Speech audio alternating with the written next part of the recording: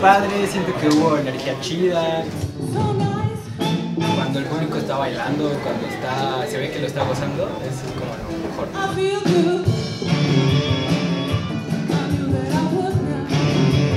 Pues es muy padre porque conoces diferentes músicos, diferentes también el tiempo que tienen estudiando y el hecho de compartir como las pasiones de cada uno es, es algo muy bonito.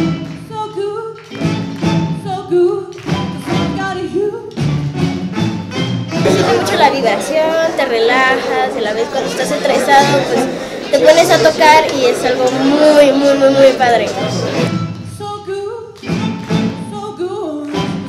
Pues de salir al escenario es poder yo ser mí misma y poder mostrarles a la gente que está sentada en las butacas lo que puedo hacer